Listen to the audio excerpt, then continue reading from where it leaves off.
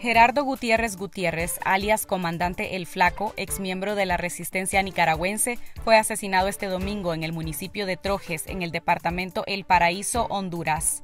Según el medio regional del norte de Nicaragua, Mosaicos CSI, el opositor al gobierno recibió al menos 12 balazos en el pecho, cabeza, cuello y mano izquierda, confirmó la Dirección Policial de Investigaciones en Honduras. Gutiérrez se había exiliado y solicitado asilo político a finales de 2012 y formaba parte de los grupos autoproclamados como rearmados por razones políticas.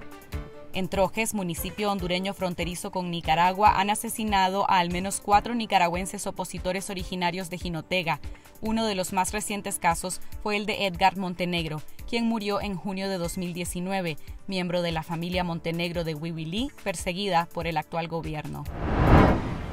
El Consejo de Asuntos Exteriores de la Unión Europea aprobó por primera vez en su historia un régimen de sanciones para violadores de derechos humanos a nivel global. Bajo este mecanismo podrán imponer restricciones a responsables de genocidio, crímenes contra la humanidad, esclavitud, ejecuciones extrajudiciales y torturas. Serán sancionadas con mayor rapidez y eficiencia personas, entidades y organismos, actores estatales y no estatales, responsables de, involucrados o asociados con violaciones y abusos graves de derechos humanos en todo el mundo, sin importar dónde ocurrieron. La Unión Europea ha sancionado a seis funcionarios del régimen en Nicaragua.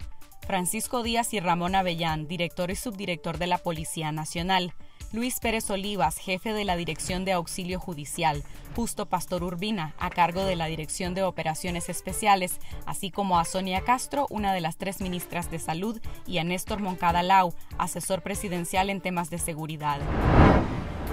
En una elección con una abstención masiva y con la participación de solo el 20% de los electores, el chavismo recuperó el control del Parlamento en las elecciones de este domingo en Venezuela. Ya son casi 50 los países que no reconocen el triunfo del chavismo, incluyendo la Unión Europea. En América, 16 naciones firmaron una declaración en la que denuncian la falta de legitimidad y pidieron a la comunidad internacional unirse al rechazo de unas elecciones fraudulentas.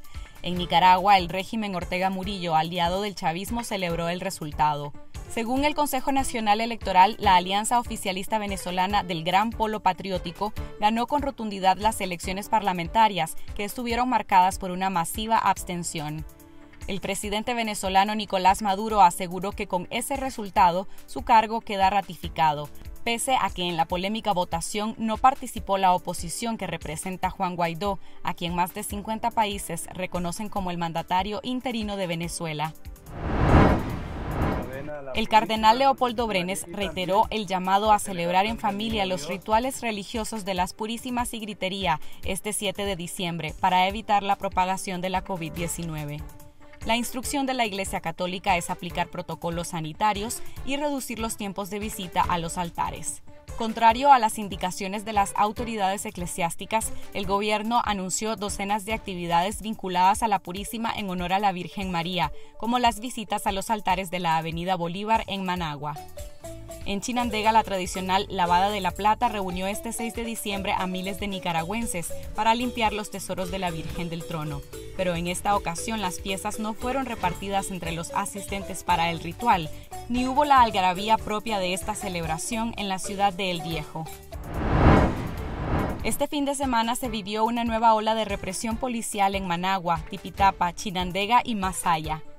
La excarcelada política Neima Hernández y Carlos Pavón, padre de Richard Pavón, adolescente asesinado en el contexto de las protestas contra el gobierno en abril de 2018, fueron asediados y recibieron citatorios para ser interrogados en la delegación policial de Tipitapa.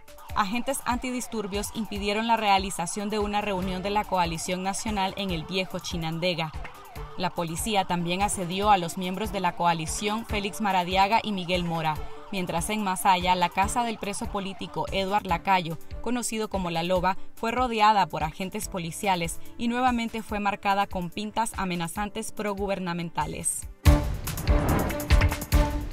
En nuestro sitio confidencial.com.ni lean el reportaje especial de nuestro colega Yader Luna sobre la demanda de liberación de los 109 reos políticos que continúan en las cárceles.